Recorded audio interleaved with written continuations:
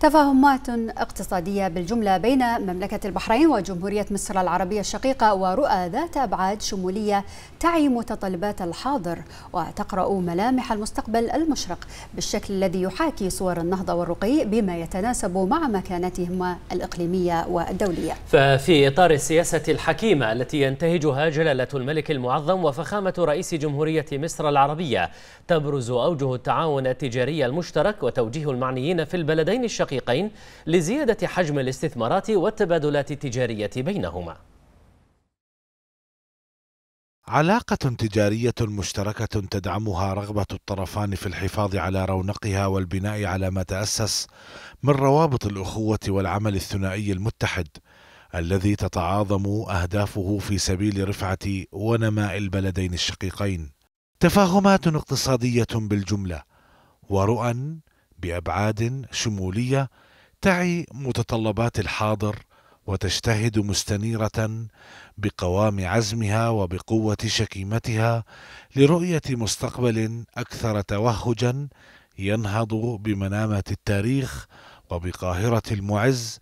إلى أبعد ما يمكن تخيله من صور تتنوع فيها ملامح النهضة والرقي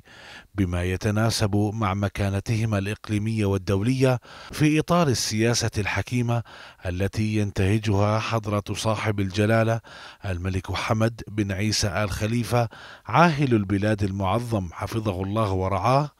يدا بيد إلى جانب أخيه رئيس جمهورية مصر العربية عبد الفتاح السيسي للأخذ بكيان بلديهما نحو مزيد من الاستقرار والرخاء. تبادل رحب في سماء عالم المال والأعمال يزيد مداه أكثر فأكثر مع كل عام.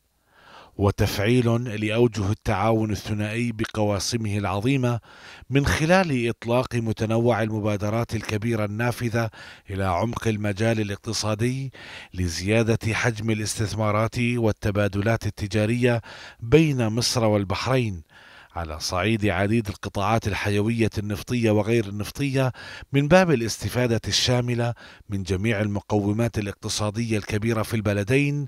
لدفع منظومة التنمية في كل منهما. 216 مشروعا استثماريا بحرينيا في مصر برأس مال يصل إلى ثلاثة مليارات ومئتي مليون دولار أمريكي لتحتل المملكة المرتبة السادسة عشرة في قائمة الدول المستثمرة بالسوق المصري وتحديدا في قطاعات التمويل والإنشاءات والصناعة والزراعة والسياحة والخدمات والاتصالات وتكنولوجيا المعلومات. وفي ذات الإطار كان قد بلغ حجم التبادل التجاري للسلع غير النفطية بين البحرين ومصر في العام الفائت ما يزيد على 279 مليونا و500 ألف دينار بحريني.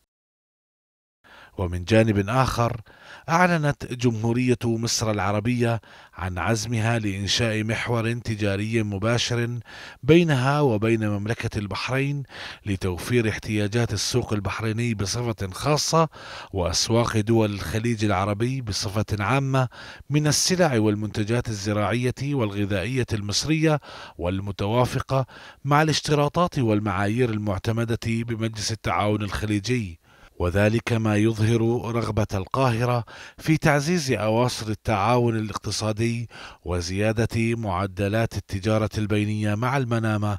خلال المرحلة القادمة. لتلفزيون البحرين محمد رشيدات.